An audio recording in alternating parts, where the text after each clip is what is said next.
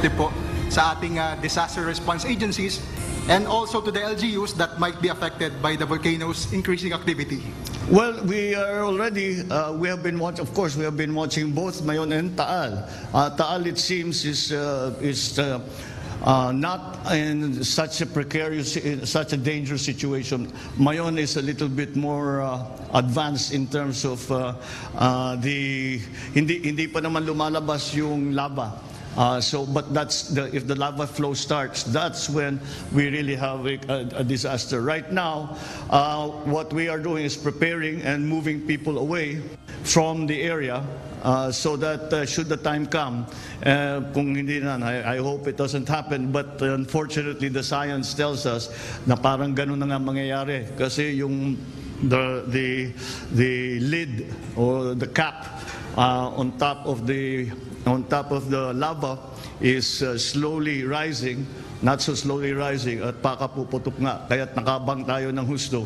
At nakaredy na naman tayo. At uh, ganun naman talaga ang ating ginagawa. We watch it very, very closely, make sure that any of the communities that could be affected are evacuated and are, given uh, assistance uh, while they are in uh, while they are evacuated until the time that that they can return to their homes. So it's the same thing. Yung Taal has the problem is the release of the gas. May toxic gas na medyo naramdaman na ng mga ibang uh, uh, na ibang tiga doon. At uh, yun the DOH is looking after those people and we have we have analyzed the problem and we know uh, where the wind is blowing kaya alam na natin kung saan dadaan yung mga toxic na gases kaya i, uh, paiiwasin na natin yung mga yung mga uh, mga tao na nakatira doon sa area na yun. All right? Thank you, sir. Mela Lesmoras, PTV4. Hi, good evening, sir. Sir, ilang linggo na lamang po ay ikalawang State of the Nation address nyo na. Kumusta po yung paghahanda para rito? At ano yung mga dapat ex- i-expect ng mga tao mula sa inyong ikalawang SONA?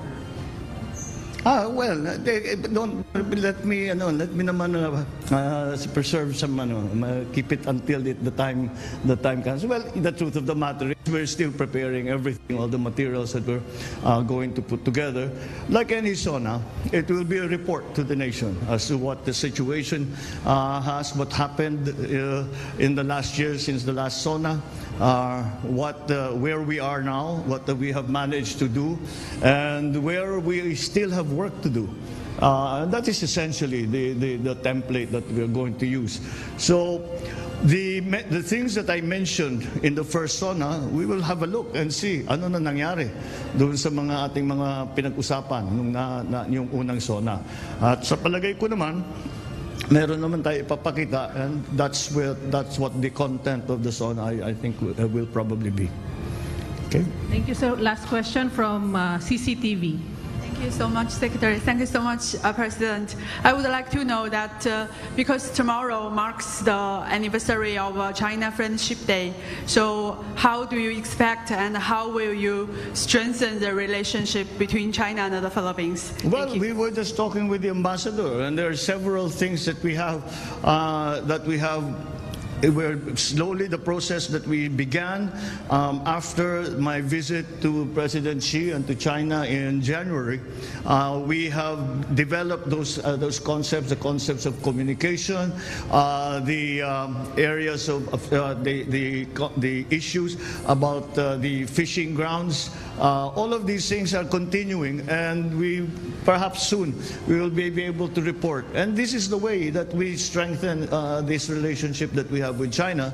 Of course, on the on the private sector side, this is going on without any any any stop. It, the the opportunities that China has given the Philippines and the Philippine corporations and Filipinos in general uh, have been uh, invaluable to, to, the, to the Philippines, and that's why that, that, that continues.